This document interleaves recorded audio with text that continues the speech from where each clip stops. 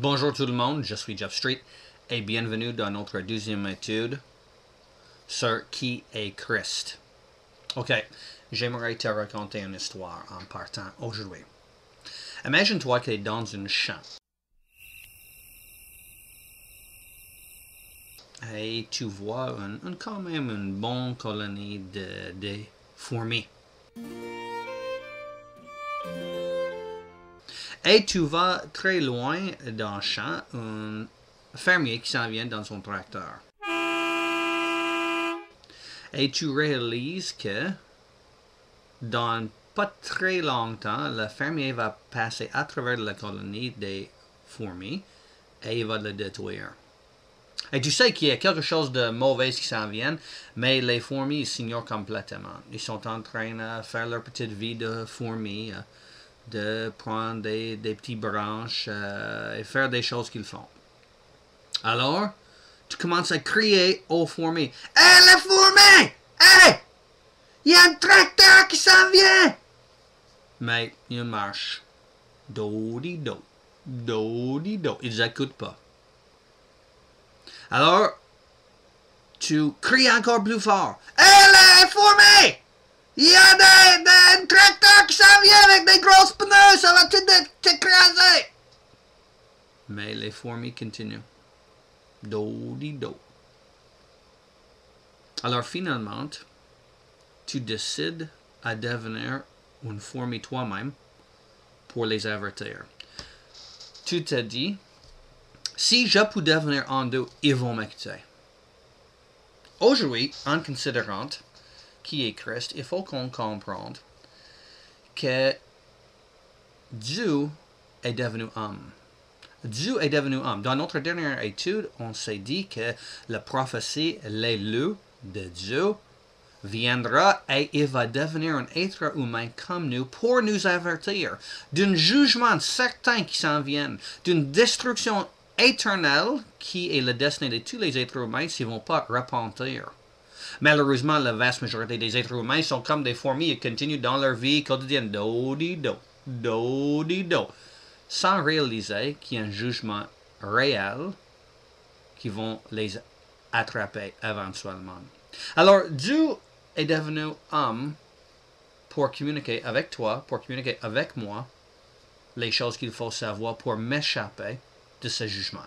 OK, à cause du fait qu'il y a tellement de personnes qui peuvent dire n'importe quoi, les gens peuvent dire que « Oh ouais, moi je suis Dieu », et on a déjà eu plusieurs qui ont essayé à faire les choses comme ça. Nous devons mettre certains prérequis sur quelqu'un qui va dire qu'il est Dieu. Alors, j'ai cinq points que j'aimerais t'emmener aujourd'hui qui va nous aider à comprendre que Jésus est véritablement Dieu parce qu'il a répondu à tous les cinq prérequis. OK, le premier prérequis est ça. Si Dieu s'était fait homme, on s'attendrait à ce qu'il soit né d'une façon miraculeuse. Laisse-moi le répéter. Si Dieu s'était fait homme, on s'attendrait à ce qu'il soit né d'une façon miraculeuse.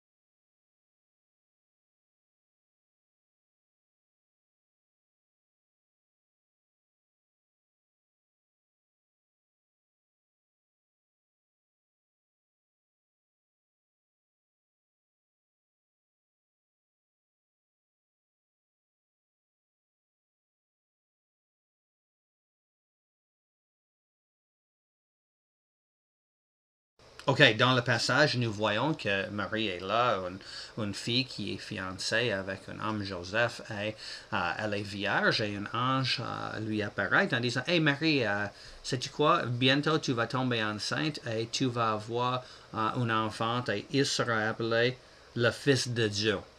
Alors Marie pose une question très légitime à mon avis, et c'est pas une question rebelle, c'est une question honnête.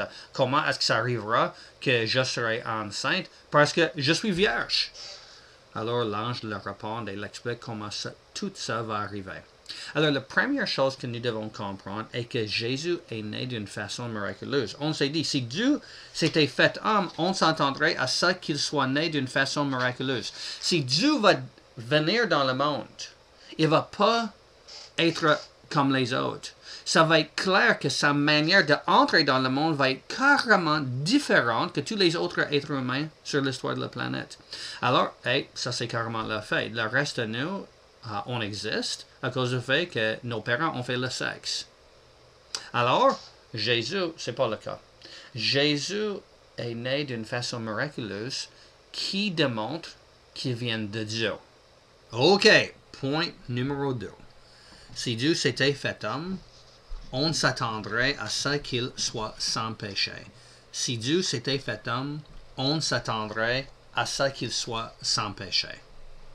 C'est simplement raisonnable à penser que si quelqu'un est Dieu, il est parfait.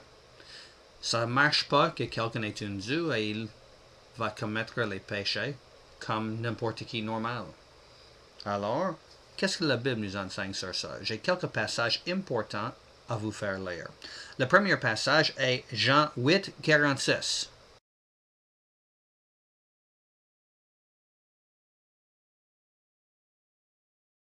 C'est important qu'on comprenne à qui Jésus a posé cette question.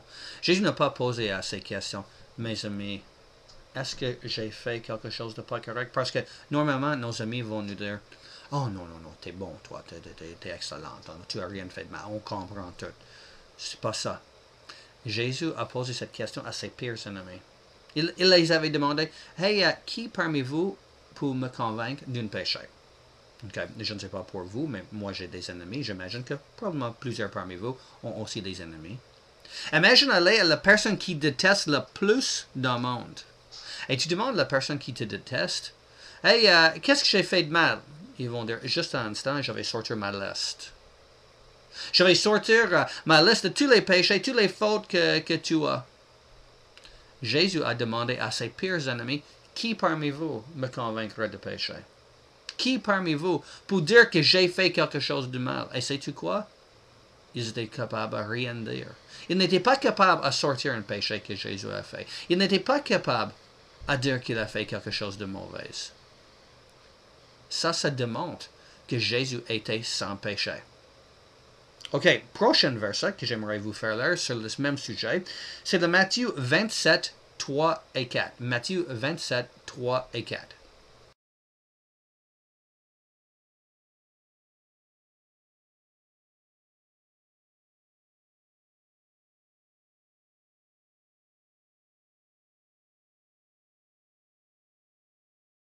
Dans ce passage, nous voyons que ce n'est pas simplement le pire ennemi de Jésus, c'est le gars lui-même qui l'a trahi, Judas Iscariot. Et Judas, s'il est comme les gens normaux, cherchera à se justifier dans les choses qu'il a fait du mal. Je sais que lorsque j'ai fait des choses pas correctes, normalement, je vous dire, oh, mais c'était à cause de cette telle affaire, c'était à cause de telle personne. Lui était vraiment pas un bon gars. Mais la chose qu'on voit chez Judas, et Judas est en train de dire, moi, j'ai péché en livrant le sang innocent. J'ai péché en livrant le sang innocent. Judas a reconnu son tort. Il a dit, c'est moi qui ai fait de mal. Lui n'a rien fait de mal. C'est moi qui ai fait de mal. Ça, c'est la personne qui l'a trahi, a dit, Jésus a jamais fait de mal. C'est moi, la personne qui a fait l'erreur.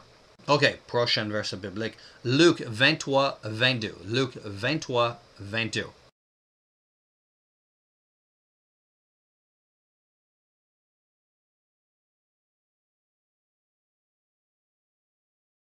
Dans cette verset biblique, on voit le gars qui a condamné Jésus à la mort, Pilate.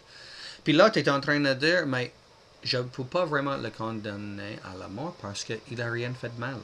J'ai vérifié, il n'y a rien qui mérite le mort en dedans de lui. J'aimerais vous dire que ça, c'était aucunement à son avantage. C'était aucunement à son avantage, politiquement parlant, pour lui à dire que, oh, mais Jésus, il est un innocent. Puis il était en train de dire, vous pouvez le crucifier, mais je vois aucune raison pour. Alors, encore une autre preuve que Jésus a jamais fait le péché. Prochain verset, Luc 23, 47. Luc 23, 47.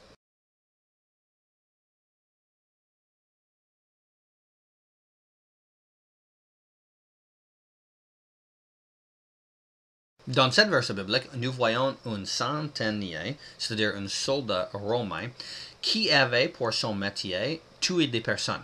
Imaginez, lui, euh, un jour normal, arrive à la maison. Bonjour chérie, et elle le demande comment est-ce que c'est allé aujourd'hui?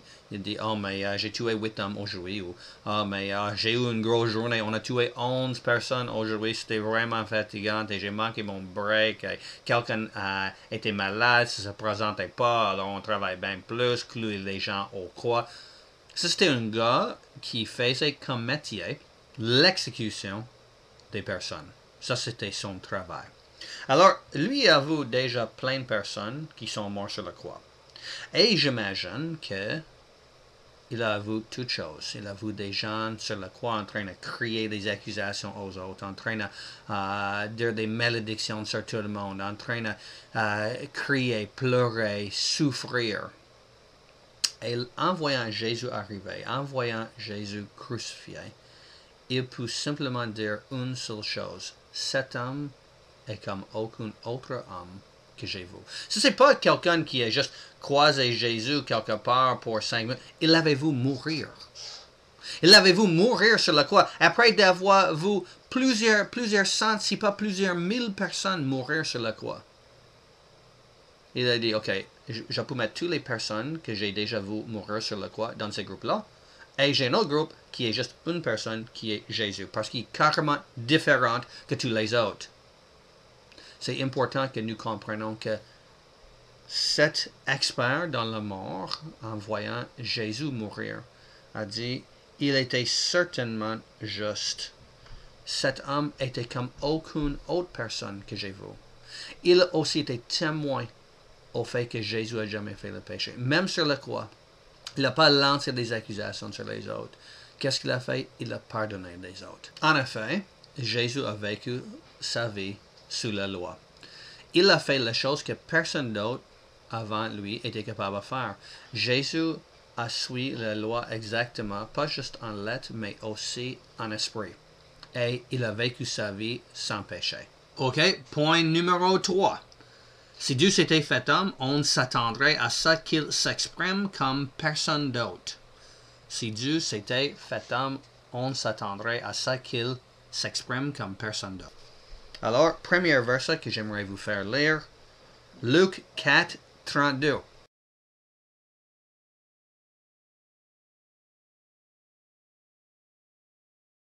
Cette verset biblique est un seul exemple de combien les gens étaient émerveillés avec sa manière à s'exprimer. Je ne parle pas simplement des paroles qu'il disait. Oui, ils étaient absolument frappés par sa doctrine. Ils étaient absolument touchés par les paroles qu'il disait. Mais ils étaient aussi touchés par la manière qu'il s'exprimait en toutes sortes de choses. Sa manière, tout ce qu'il faisait était comme personne d'autre qu'ils ont vu. Regarde une prochaine verset.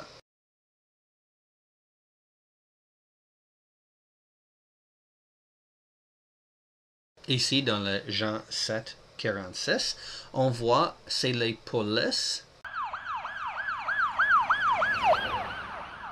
qui sont venus pour prendre Jésus, qui, en l'entendant parler, retournent chez le poste de police et disent Ah, mais personne n'a jamais parlé comme ça. On n'a jamais entendu quelqu'un dire des choses comme lui. Disent On ne peut pas le prendre parce que lui, il est comme personne d'autre. Imagine-toi aujourd'hui si on envoie la police chez quelqu'un pour euh, arrêter quelqu'un et il revient au poste de police en disant Oh mes gars, non, non, ça se peut pas. Il, est trop bon. Il, est merveilleux. Il est comme aucune autre personne qu'on a rencontrée dans nos vies. C'est ça qui est arrivé.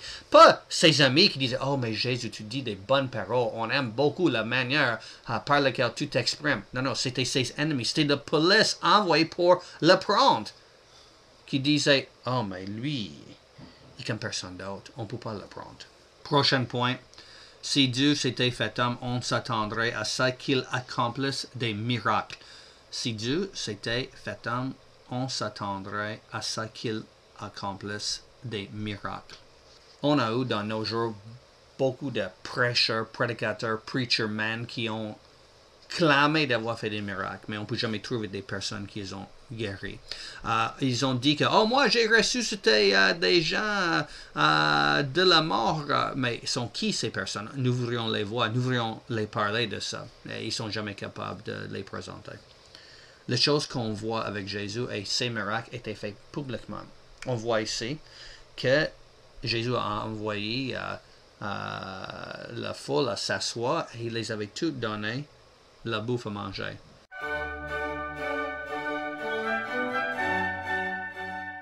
Cinq mille hommes et femmes et enfants, et j'imagine que c'était probablement pas une famille traditionnelle d'aujourd'hui de 1,12 enfants. C'était probablement 4-5 enfants par famille et Jésus a nourri toute la foule. C'était pas fait euh, en cachette.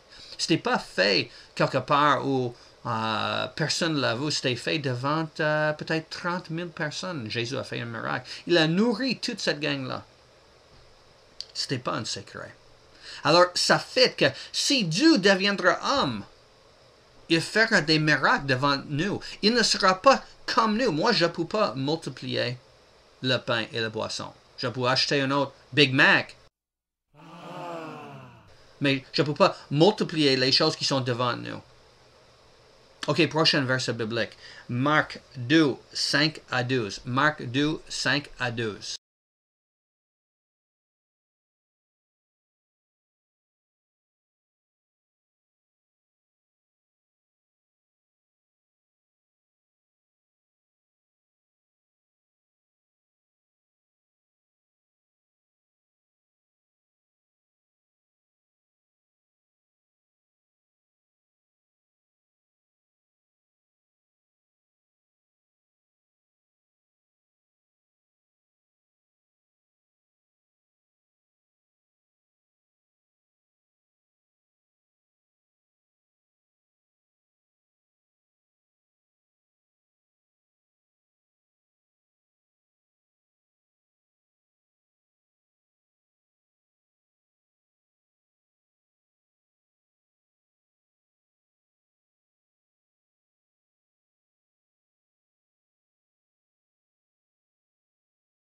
Dans le premier passage qu'on vient de lire par rapport de le miracle, Jésus a fait ce miracle avant sa gang. Avant, même si sa gang était 30 000, c'était quand même avant sa gang.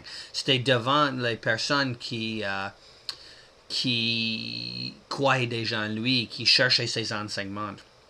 Alors, on peut dire, oh, mais ça, c'était une foule euh, qui soutenait Jésus. Mais ici, dans le Marc chapitre 2, on voit que Jésus a fait son miracle devant les gens qui ne l'aimaient pas, devant les gens qui doutaient. Ils avaient des scribes, des gens qui étaient là, qui questionnaient qu'est-ce que Jésus disait. Alors Jésus a dit, mais si vous avez besoin de voir que j'ai le pouvoir à pardonner le péché, parce que c'est seulement Dieu pour pardonner le péché, vous allez aussi voir que j'ai le pouvoir, sans toucher quelqu'un, sans dire des mots magiques, sans, euh, euh, euh, le toucher, je peux simplement guérir à ma parole. Et c'est ça que Jésus a fait. Devant ses ennemis, il a dit au boiteux, lève-toi et marche. C'est ça qui est arrivé. Jésus a fait un miracle seulement par le pouvoir de sa parole. C'est seulement Dieu qui peut faire ça. Il n'est pas simplement né d'une façon miraculeuse. Il n'est pas simplement quelqu'un qui a jamais fait les péchés. Il n'est pas simplement quelqu'un qui a dit des paroles comme quelqu'un d'autre. Il est quelqu'un qui était capable et est capable à faire des miracles que le reste de nous ne pouvons pas faire. Parce que en ayant le Créateur, il n'est pas maîtrisé par sa création, il est capable de le maîtriser lui-même. Prochain verset biblique, Jean 9, 11. Jean 9,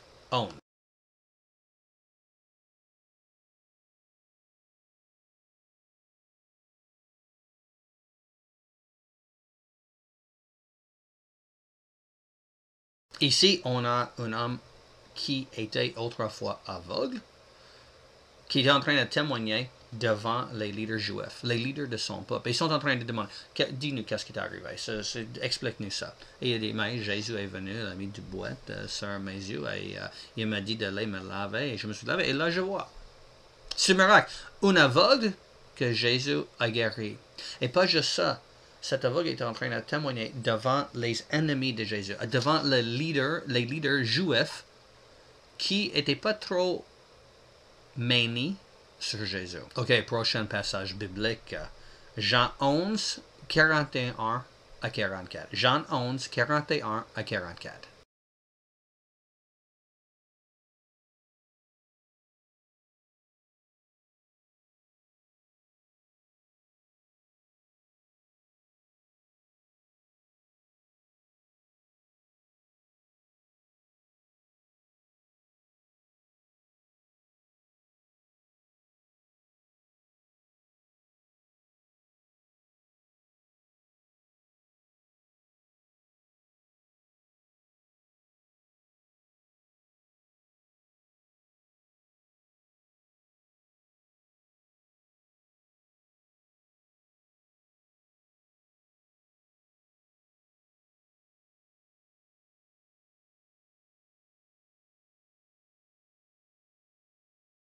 Imagine être en funérailles et Jésus rentre et il ressuscite la personne qui est morte depuis trois jours.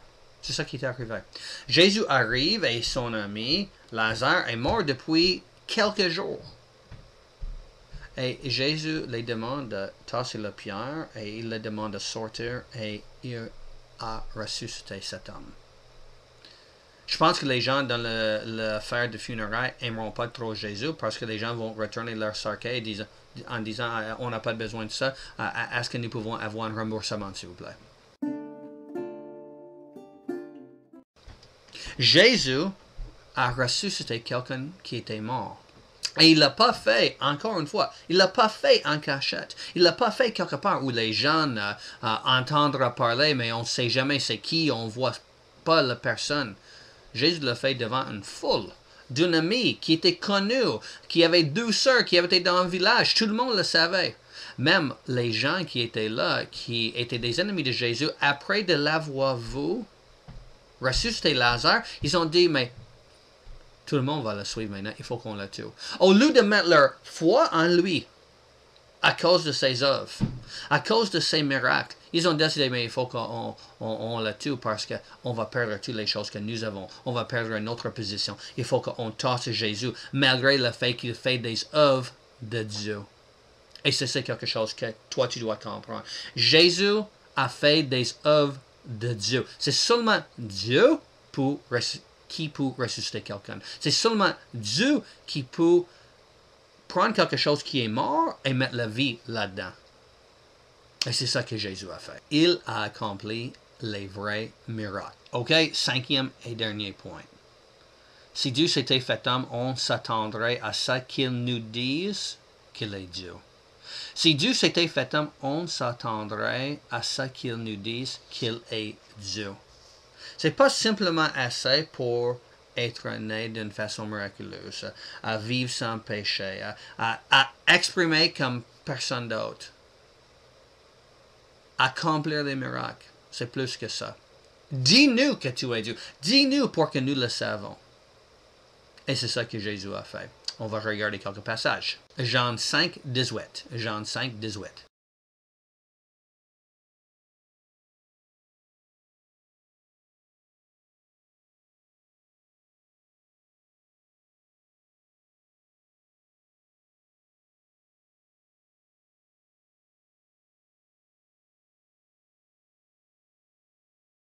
Ce passage est spécialement intéressant parce que ce n'est pas ses amis qui ont dit Oh, mais tu es Dieu, on le croit, on le croit, on le croit. Non, c'était ses ennemis qui ont dit Ah, on comprend bien qu'est-ce que tu viens de dire. Tu viens de dire que tu es égal avec le Père, qui va dire que toi, tu es Dieu. Et on est contre ça. On n'accepte pas ça. Alors, les ennemis de Jésus ont carrément compris qu'est-ce que Jésus était en train de dire. Que Jésus était en train de dire que je suis Dieu. Je suis égal au Père et je suis Dieu lui-même.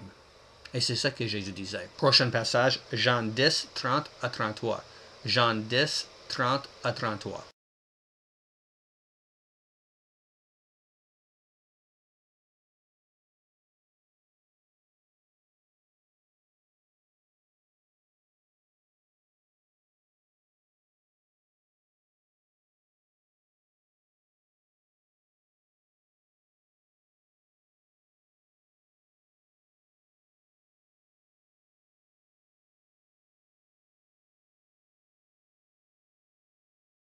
Encore une fois, Jésus est devant ses ennemis et il décide que ses paroles méritent la peine de la mort. Et alors Jésus demande une question euh, très légitime, pourquoi est-ce que tu voudrais me tuer? Pour quelle bonne œuvre? Parce qu'on sait que Jésus a fait rien que les bonnes œuvres. Pour quelle bonne œuvre est-ce que vous voulez me lapider? Pourquoi? Et ils disent, oh, ce n'est pas pour une bonne œuvre que nous te lapidons, mais pour un blasphème, parce que toi, qui es homme, tu te fais Dieu. Les Juifs ont compris exactement ce que Jésus disait. Les gens qui disent aujourd'hui, oh, mais Jésus n'a jamais dit qu'il était Dieu, sont des gens qui n'ont pas lu la Bible. sont des gens qui ne connaissent pas ce que Jésus a dit. La raison que les Juifs l'ont rejeté était parce qu'il était en train de dire, je suis Dieu. Et l'Ancien Testament était très très clair. Si quelqu'un dit qu'il est Dieu, il doit être mis à mort. Mais le problème est qu'ils n'ont jamais pris la peine à vérifier et checker ses œuvres, checker son certificat de naissance, à checker ses actions, à checker ses miracles, à vérifier tout sur lui. Parce que si ils vont l'avoir vérifié, ils vont avoir vu que, oh, mais finalement, son curriculum vitae, euh, ça match, ça match pas mal avec ce qu'on attend de notre Messie. Est-ce que c'est possible qu'il est vraiment Dieu? Ils ont bouché les oreilles parce qu'ils avaient trop à perdre eux-mêmes. Ils ont voulu garder leur place et leur position et leur leadership. Et si Jésus était la personne qui était supposée venir, ils n'aimaient pas ça. Ça ne fitait pas dans leur plan. Alors, on va prendre la loi comme excuse pour le lapider. Et quelle excuse? Parce qu'ils disent qu'il est Dieu. On le comprend. On l'a entendu avec nos propres oreilles. Alors Jésus était en train clairement à nous dire qu'il est Dieu. La réalité est que plusieurs personnes ont refusé voir. Les gens n'ont pas voulu voir. Les gens n'ont pas voulu vérifier toutes les choses qu'on avait mentionnées dans cette étude. Ils n'ont pas voulu comparer Jésus aux autres êtres humains. Ils n'ont pas voulu voir que mais finalement, euh, il n'est pas comme nous. Il est carrément différent que nous. Oui, il est un homme comme nous, on le touche, il a une chair comme nous, il a les cheveux, deux yeux, un nez, une, euh, euh, une bouche. Mais il est comme nous, mais pas comme nous. Je peux vous dire tout ça sur Jésus. Je peux tout raconter, peux tout enseigner. Mais je ne peux pas te faire voir comme les gens qui habitaient dans l'époque de Jésus, qui ont littéralement tout vu, mais refusaient en même temps à voir qu'il était. Et si tu veux être comme les gens à l'époque de Jésus en disant, mais, mais, mais je ne vois vraiment pas, mais c'est juste une excuse. Parce que les preuves sont claires. Les preuves étaient claires dans le temps de Jésus pour les gens qui le connaissaient personnellement, et c'est clair comme cristal pour nous aussi. Nous pouvons voir par sa naissance, par sa vie, par ses paroles, par ses miracles, et par le fait qu'il se disait Dieu, qu'il est vraiment Dieu. Alors c'est important que tu comprends que si tu décides de le rejeter, si tu décides de réagir comme les gens de cette époque, la même chose arrivera à toi. Ça va t'amener un jugement. Ça va amener le jugement de Dieu. Comme les tracteurs qui s'en viennent, on a eu l'avertissement. On a eu quelqu'un qui est devenu fourmi comme nous pour habiter parmi nous, pour nous avertir qu'il y a un jugement certain qui s'en vient. Et la seule façon de l'échapper est de croire en Jésus-Christ. Alors peut-être tu vas me demander, mais c'est quoi exactement croire en Jésus-Christ? Je ne sais pas ce que c'est quoi ça. Je, pense que je crois. Euh, c'est quoi croire? À croire, c'est mettre ta foi en quelqu'un à entrer dans une relation personnelle avec eux. Ce n'est pas simplement d'avoir une connaissance des faits historiques de qui était Jésus-Christ. Est-ce que vous vous rappelez de tes cours d'histoire de Alexandre Legrand? Vous savez ce qui? Voici Alexandre Legrand, bonjour. Euh, moi, j'ai déjà fait la conquête du monde entier. Euh, je suis grec et euh, je suis né à 300 ans avant Jésus-Christ. Alexandre le Grand était un vrai personnage. Moi, je crois les détails de sa vie, les, faits saillants qu'il il avait Aristote comme professeur en Grèce et qui est devenu un général des armées et fait la conquête du, quasiment du monde au complet, le monde connu en tout cas. Alors, je crois en Alexandre le Grand, mais je n'ai pas une relation personnelle avec lui. Je n'attends pas que Alexandre Legrand va m'entendre lorsque je prie. J'attends pas que Alexandre Legrand va faire quelque chose pour moi. Alors les gens qui disent Oh mais je crois en Jésus-Christ, mais leur concept de c'est quoi? Croire? Est simplement oh, connaître les détails saillants sur la vie de Jésus-Christ. Je crois qu'il est mort sur la croix. Je crois qu'il est ressuscité. Je crois qu'il est le Fils de Dieu. C'est bon ça. Mais simplement croire sur le détail de sa vie, ça ne sauve pas. C'est pas assez d'être sauvé, c'est seulement croire dans les faits historiques sur la personne de Jésus-Christ. La Bible enseigne clairement que quelqu'un qui croit va entrer dans une relation personnelle avec Jésus-Christ. Il va lui demander d'entrer dans sa vie, de le pardonner de ses péchés, d'avoir une relation vivante avec lui. C'est ça une chrétienne. Une chrétienne n'est pas seulement quelqu'un qui croit les détails, mais quelqu'un qui connaît personnellement Jésus-Christ. La foi est un peu comme moi et cette chaise. Je vois que la chaise existe, qu'elle est faite solide, qu'elle sera capable de me tenir. Je crois que la, chaise est digne de ma confiance. Mais jusqu'au moment où je vais m'asseoir dans la chaise, j'ai pas mis ma foi dans la chaise. C'est une chose de dire, oh, je crois dans la chaise. Je crois que la chaise est solide, que oui, est-ce que tu crois que ça existe? Oui. Est-ce que tu crois que c'est vraiment bien fait? Oui. Est-ce que tu crois que c'est solide? Oui. Mais jusqu'au moment que j'avais littéralement me lever, changer ma place et m'asseoir sur la chaise, je n'ai pas encore mis ma foi dans la chaise. Aussitôt que je vais m'asseoir sur la chaise, à ce moment-là, je suis sur la chaise. Là, je suis en train de mettre ma foi en pratique. C'est exactement ça que nous devons faire. Pour devenir chrétien, c'est pas simplement à croire que Jésus-Christ existe, à croire les faits sur lui, à croire qu'il peut sauver. Non, c'est pas ça. C'est de littéralement te laisser être sauvé par lui.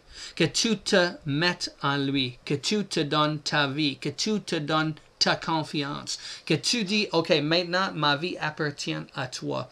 Comme lorsque je vais m'asseoir sur une chaise, ma vie, en ce moment, appartient à la chaise. Même chose pour Jésus-Christ. Si je crois en Jésus-Christ pour de vrai, si je suis vraiment sauvé, je dois aller m'asseoir sur Jésus-Christ. Je vais mettre ma confiance en lui.